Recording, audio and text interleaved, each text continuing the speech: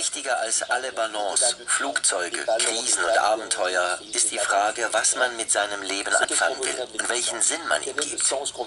Wer denkt, dass er aus dem Nirgendwo kommt und ins Nirgendwo geht und das Ziel des Lebens darin besteht, reich und glücklich zu sein, den wird die kleinste Krise umbringen. Wenn man aber versteht, dass man von irgendwoher kommt, ohne zu wissen woher, und dass man irgendwohin geht, ohne zu wissen wohin, und dass der Sinn des Lebens darin besteht, sich weiterzuentwickeln und sich über mehr Weisheit, Güte, Mitgefühl und positive Lebensenergie einzubringen, dann eröffnet sich ein Sinn hinter allen religiösen Strömungen Philosophien, deren Aussagen sich ja kaum voneinander unterscheiden.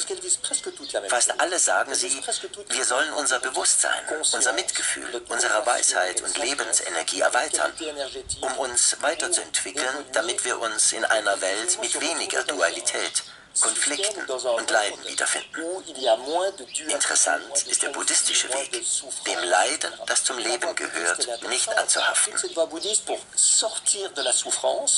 qui est inhérente à la vie, avec plus de détachement.